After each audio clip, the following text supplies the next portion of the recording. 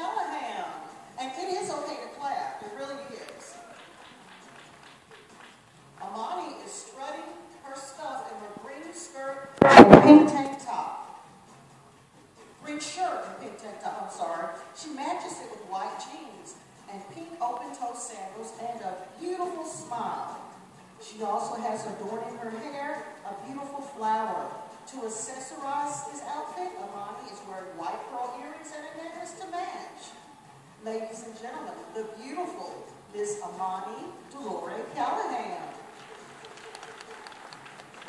Coming in with pearlescence now is contestant number six, Miss Mia Nicole Cowan. Mia is wearing an apple green cardigan matching with matching shell by Liz Claiborne. She also has on a high,